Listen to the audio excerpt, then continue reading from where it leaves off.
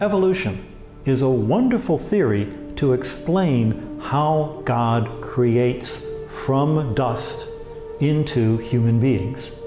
And you can find echoes of it in the work of St. Augustine.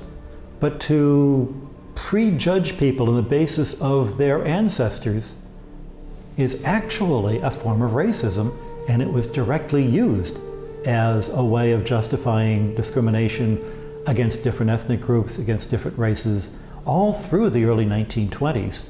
I mean, you read the book that uh, Scopes was using at the Scopes trial, and you suddenly realize, I'm not all that comfortable, you know, wanting to be on this guy's side.